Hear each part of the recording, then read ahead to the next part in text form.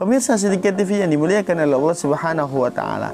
Itulah hukum salat Idul Fitri di rumah masing-masing. Jadi bagi kita yang berada di kawasan zona merah yang masjid-masjidnya ditutup dan tidak mengadakan salat Id, apalagi sudah ada anjuran dari Majelis Ulama Indonesia, jangan khawatir.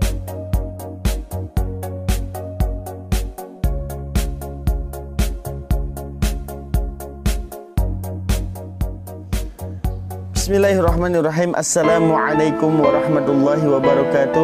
Hamdan salaman amma ba'du. Segala puji bagi Allah subhanahu wa ta'ala. Tuhan semesta alam Salawat serta salam kita haturkan Kepada baginda Nabi besar Muhammad Sallallahu alaihi wasallam. Pemirsa sedikit TV yang dimuliakan oleh Allah subhanahu wa ta'ala. Di 10 hari terakhir Di bulan suci Ramadan Kita dikejutkan dengan fatwa yang dikeluarkan oleh Majlis Ulama Indonesia tentang kaifiyat atau tata cara pelaksanaan solat Idul Fitri di tengah pandemi COVID-19.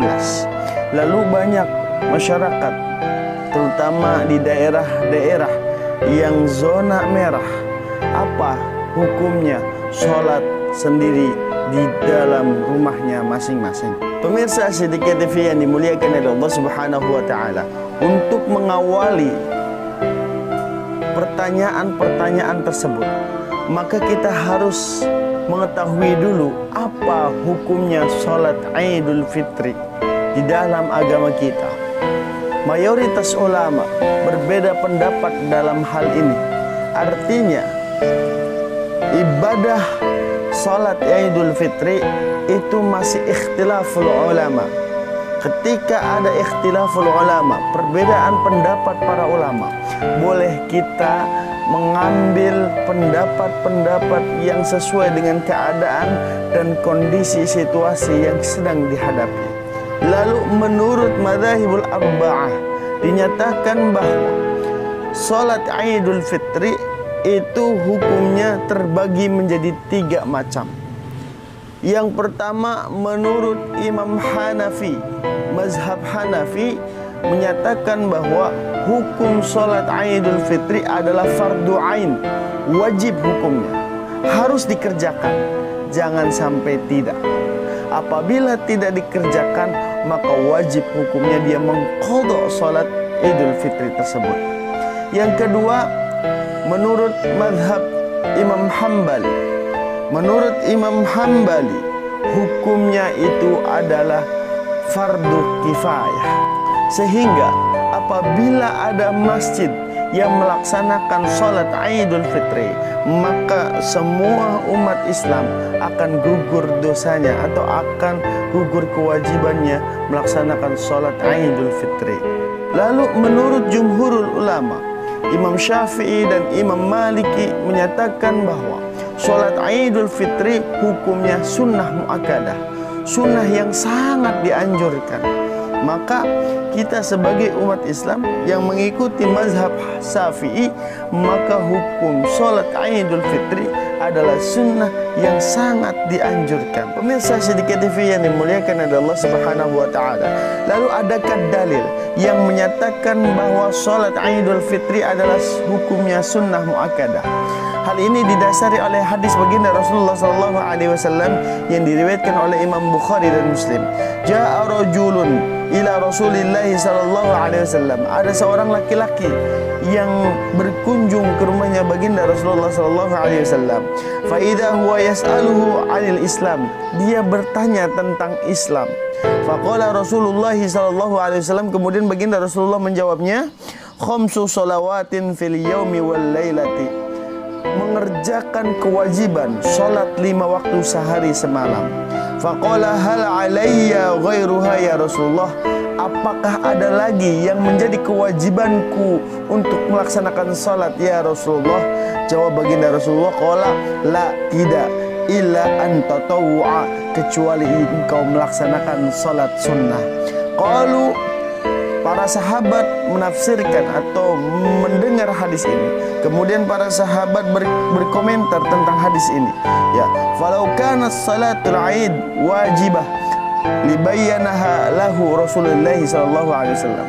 seandainya sholat id itu wajib bagi umat Islam maka baginda Rasulullah sudah pasti menjelaskan kepada orang tersebut bahwa sholat id itu adalah wajib ternyata tidak kewajiban sholat bagi umat Islam adalah hanya sholat fardu yang kita lakukan lima kali dalam sehari semalam.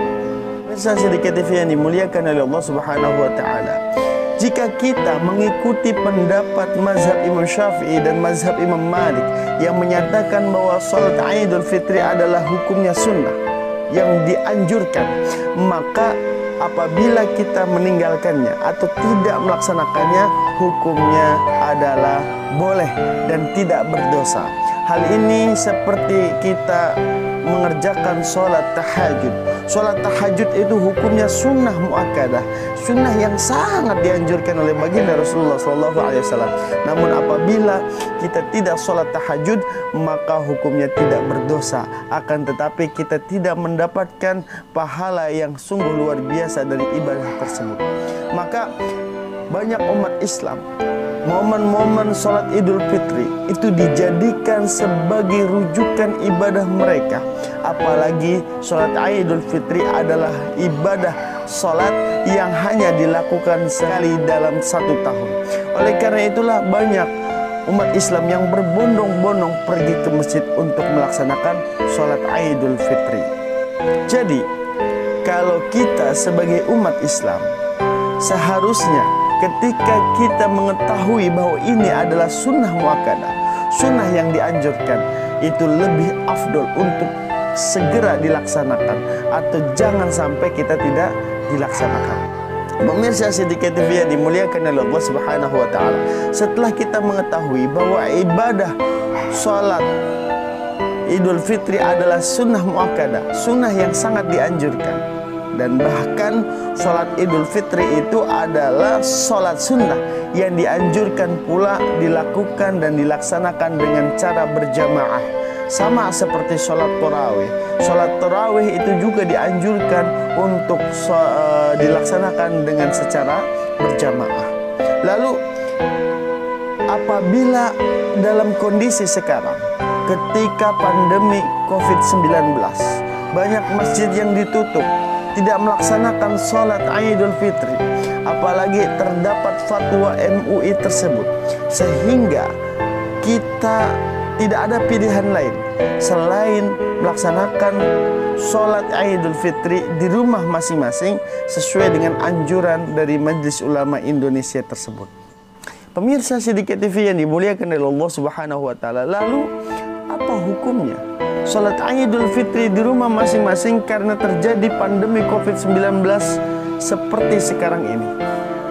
Maka para ulama mengambil satu kesimpulan, apabila ada uzur syar'i, uzur yang diperbolehkan dalam agama, pandemi COVID-19 ini adalah uzur yang diperbolehkan oleh agama, meninggalkan sesuatu yang diharuskan oleh kita meninggalkan sesuatu yang diwajibkan oleh kita karena ada uzur syar'i yaitu pandemi Covid-19 maka kita boleh tidak melaksanakan hal itu semuanya. Begitupun dengan salat Idul Fitri berjamaah. Kita seharusnya melaksanakan salat Idul Fitri secara berjamaah karena ada uzur syar'i ya Covid-19 ini maka kita tidak usah melaksanakan sholat Idul Fitri secara berjamaah. Saya sedikit TV yang dimuliakan oleh Allah Subhanahu wa taala. Dalam kitab Majmu' Syarah Muhadzab karya Syekh Al-Imam An-Nawawi dinyatakan bahwa ada beberapa yang termasuk bagian daripada uzur syar'i. Wa a'dzari dan termasuk kriteria ujur syar'i tersebut al-matari terjadinya hujan. Apabila terjadinya hujan, kita diperbolehkan untuk tidak pergi berjamaah di masjid. Wal wahili terjadinya banjir atau terjadinya jalan becek ya, jalan berlumpur memiliki genangan air, maka kita boleh tidak pergi ke, ke masjid. Wal atau cuaca yang ekstrim dingin sekali. Dingin sekali, luar biasa.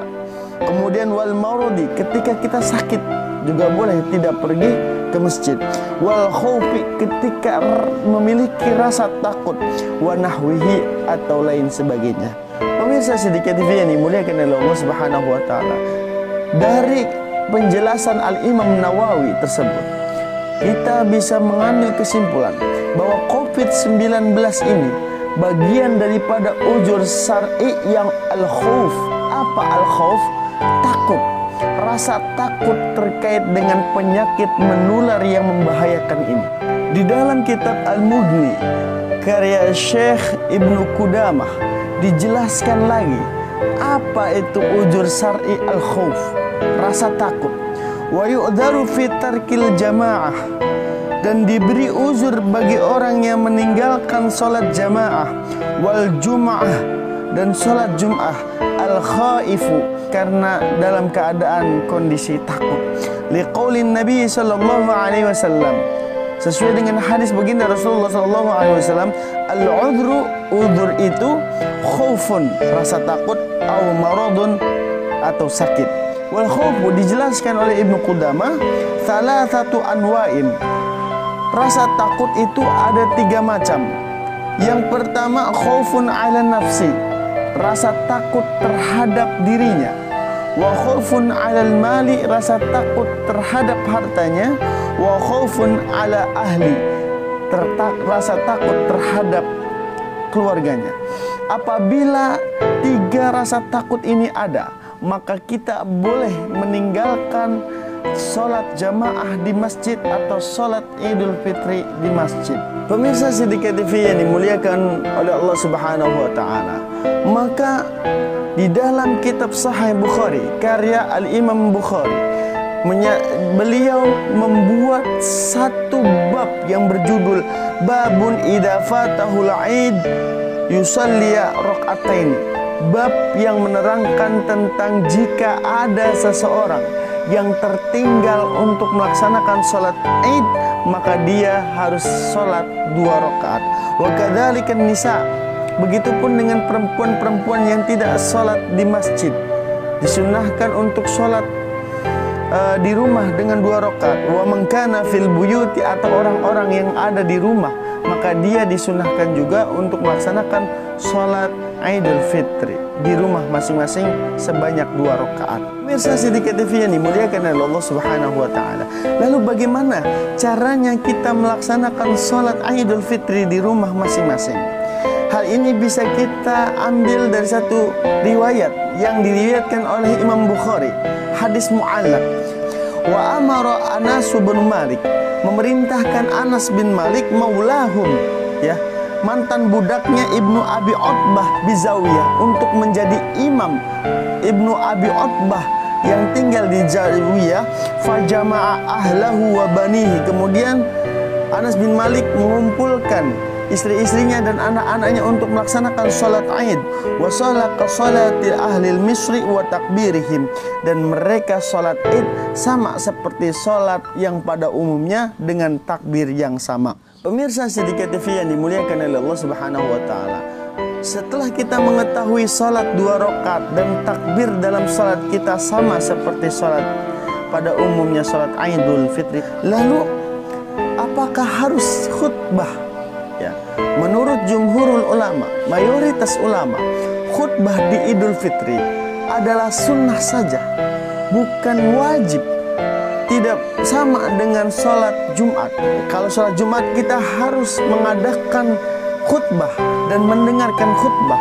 Akan tetapi jika sholat Idul Fitri, khutbah itu tidak mesti dilaksanakan karena hukumnya sunnah. Hal ini sesuai dengan hadis baginda Rasulullah SAW. Aku menghadiri bersama Nabi Wasallam untuk melaksanakan sholat Aid. Ketika selesai sholat, beliau bersabda, Inna nakhtubu ya sesungguhnya kami akan berkhutbah. Faman ahabba ayyajlisa lil khutbati. Barang siapa ingin tetap duduk untuk mendengarkannya ya fal yajlis maka duduklah diamlah dengarkanlah khutbah tersebut. Waman ahabba ayadhaba fal yadhhab dan barang siapa yang ingin pergi atau memiliki urusan yang lebih penting memiliki urusan penting yang lainnya silahkan untuk meninggalkannya. Hadis riwayat Ibnu Majah, An-Nasai dan Abu Daud. Dari hadis ini sudah kita bisa ambil kesimpulan bahwa khutbah Idul Fitri itu tidak harus kita dengarkan. Boleh kita tidak mendengarkan khutbah Idul Fitri karena memiliki uzur atau alasan-alasan tertentu. Begitu pula jika kita sholat Idul Fitri di rumah masing-masing, maka tidak mesti ada khutbah atau tidak mesti kita mendengarkan khutbah yang ada di di rumah masing-masing. Karena hukum khutbah itu sunnah, sehingga sholat Idul Fitri tanpa adanya khutbah hukumnya sah dan diterima oleh Allah Subhanahu wa taala. Akan tetapi apabila anggota keluarga kita yang bisa khutbah walaupun sedikit saja sudah mencapai rukun-rukun khutbah. Pemirsa sedikit TV yang dimuliakan oleh Allah Subhanahu wa taala. Itulah hukum sholat Idul Fitri di rumah masing-masing. Jadi bagi kita yang berada di kawasan zona merah yang masjid-masjidnya ditutup dan tidak mengadakan sholat id apalagi sudah ada anjuran dari Majelis Ulama Indonesia jangan khawatir kita masih boleh melaksanakan sholat id di rumah masing-masing itu hukumnya sah dan insya Allah kita termasuk orang-orang yang mendekatkan diri kepada Allah dan kita selesai bulan suci Ramadan ini menjadi orang yang bersih yang suci dari segala dosa dan kita meraih kemenangan yang luar biasa di hari raya Idul Fitri. Demikian uh, video kali ini mudah-mudahan bermanfaat buat kita semuanya. Akhirul kalam ihdinas syiratal mustaqim wal afwa minkum wa ridha wal inayah. Wassalamualaikum warahmatullahi.